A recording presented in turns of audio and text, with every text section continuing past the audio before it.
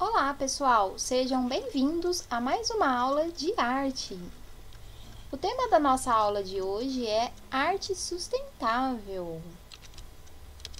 Nesta aula, eu irei apresentar para vocês algumas ideias sustentáveis para fazermos em casa na pandemia. Você sabia que é possível criar uma peça artística com materiais que você tem na sua casa? Como você tem aproveitado o seu tempo na pandemia? Vamos lá então. Vou apresentar algumas coisas interessantes para vocês fazerem em casa. Vocês podem cuidar das plantinhas e hortaliças, fazer mudinhas com sementes e ter a sua horta urbana em vasinhos, garrafas, canecas ou até em canos de PVC fazer pequenas reformas, reparos e customizar a sua roupa. E sabe aquele acessório que você não usa mais? Então, reaproveite suas bijuterias e crie outras. Mas para isso, vocês devem aprender algumas técnicas para restaurar e recuperar as peças que serão criadas. Vou apresentar algumas.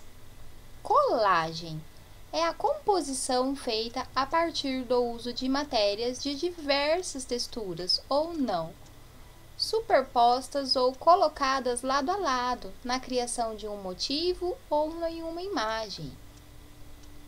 Decoupagem é a arte de cobrir uma superfície com recortes de jornal, revista, papel ou aqueles guardanapos decorados, dando uma aparência bem delicada à sua peça. Pátina é um tipo de pintura decorativa utilizada em móveis de madeira, principalmente, para dar um tom de envelhecido. Sabe aquele móvel bem bonito que você vê e pensa assim: hum, tinha um desse na casa da minha avó? Isso é a pátina. Você recupera um móvel e dá um outro ar para ele, dá uma renovada utiliza-se geralmente os tons de marrom escuro ou marrom mais clarinho com aquele pincel de uma sardinha mais grossa. Fica bem legal, hein, gente? Impermeabilização é uma técnica que serve para isolar, ou seja, tirar a umidade do meio e diminuir a porosidade do local. Você pode impermeabilizar a sua peça com uma simples cola branca ou um verniz, um papel contact, que são facilmente encontrados em papelaria. E olha só, uma cola branca todo mundo tem em casa, né, gente?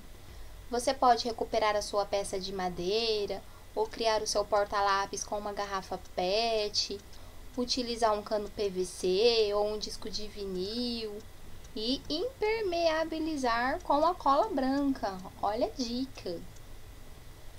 Patchwork é uma técnica que utiliza tecidos e papel com uma infinidade de formatos. Quem daqui já viu aqueles guardanapos ou aquelas roupas que são feitas com vários retalhos assim de tecido e vira uma figura muito bonita? E dá para fazer no papel também, né? Você faz uma colagem com vários recortes de papéis e cria uma composição característica sua. Assemblagem, esse é bem legal também.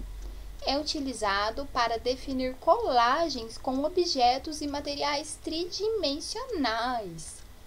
Você pode utilizar botões, miçangas, fitas, materiais sintéticos e orgânicos.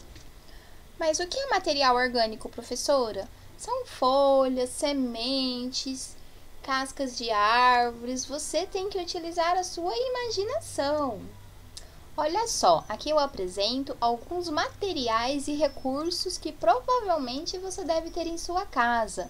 Retalhos de tecidos, caixinha de leite de Tetra Pak que você lavou e agora pode recortar para criar um novo objeto, um disco de vinil que você pode fazer a sua colagem, a sua composição, é, garrafas de vidro, latinha de leite em pó chocolate. Olha só os fuxicos, que bonitinho, gente. São rodinhas círculos que você faz com o tecido e forma uma florzinha. Sabe aquela moldura de espelho, de quadro antigo que você tem em casa que tá lá na dispensa e nem utiliza mais? Então, dá para você fazer um novo quadro com as suas características. Aquelas caixinhas de MDF que você tem na sua casa, você lança a mão da sua criatividade, recorte de revista ou tecido, utilize cola, tesoura, tinta e monte a sua peça, a sua arte sustentável. E eu vou dar algumas ideias que vocês podem criar nas suas casas com alguns desses materiais: porta-lápis, quadros, porta-retratos, florzinha de garrafa PET. Pode fazer um jardim também na garrafa PET porta-livros com caixotes de madeira, nichos com gavetas em desuso. Pode utilizar botões de costura para fazer um quadro bem bonito, fazer uma composição, um desenho. Pode utilizar potes de vidro com tecido estampado colado ou papel, né, gente? Tinta. Vários materiais vai depender do que você tem na sua casa. E agora que vocês já sabem algumas técnicas para utilizar para fazer a sua peça sustentável, eu vou deixar aqui uma proposta de atividade.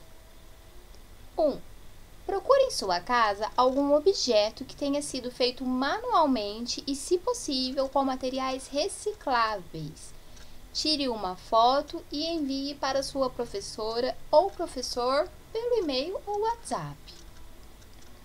Segunda, descreva quais materiais foram utilizados na elaboração desta peça. Vamos supor que você tem um porta-lápis lá na sua casa que é feito de tecido, com pérola ou miçanga ou botõezinhos. Você vai descrever para sua professora. Este é um porta-lápis, foi utilizado tecido, numa latinha de leite em pó. É, na parte de cima tem pérolas coladas, na parte de baixo tem botões diversos. Vai depender do material que você tiver aí na sua casa, hein, gente? Terceira, pesquise em sua casa algum material que você pode reutilizar para construir o seu artesanato sustentável. Você vai escrever em seu caderno e vai enviar para sua professora, explicando como seria a criação do seu artesanato sustentável. E se você conseguir, crie o seu artesanato sustentável e envie também a foto para sua professora. Aqui eu trago alguns exemplos de peças artísticas manuais criadas por mim e por alguns de meus alunos. Vou apresentar. Olha lá, aquela primeira imagem que tem duas garrafas, são duas garrafas que foram feitas com tecido através da técnica de colagem. Logo abaixo, temos também alguns vidrinhos que tem tecido, uma cordinha de sisal, uma pérola no meio e em cima algumas pecinhas de madeira. Aí já temos a técnica de assemblagem, porque ficou uma composição tridimensionais. Nós temos três dimensões. Embaixo nós temos o porta-velas com vidrinhos também, né? Decorado com papel através da técnica de colagem. Ao lado nós temos uma encadernação manual feita com papel de Tetra Pak, ou seja, de caixinha de leite, aquele papel bem durinho, e tecido, foi encapado com tecido de chita, é uma capa para agenda ou algum livrinho. Temos também um porta-vaso feito com palitinhos de sorvete e fita de cetim, um trabalho feito no disco de vinil através da técnica de colagem e impermeabilização, é, algumas florzinhas feitas no CD com tecido e botões, temos também aqui uma flor feita com jornal e um espelho no centro e um nicho de madeira. Sabe aquelas madeirinhas que você tem em casa ou aquela gaveta velha que você não utiliza mais? É só você tentar montá-las com cola branca e retirar o fundo e vir uma linda prateleira, ou seja, um nicho para você colocar seus objetos. E olha lá em cima, temos até um violão feito com retalhos de espelho. Então é isso, gente.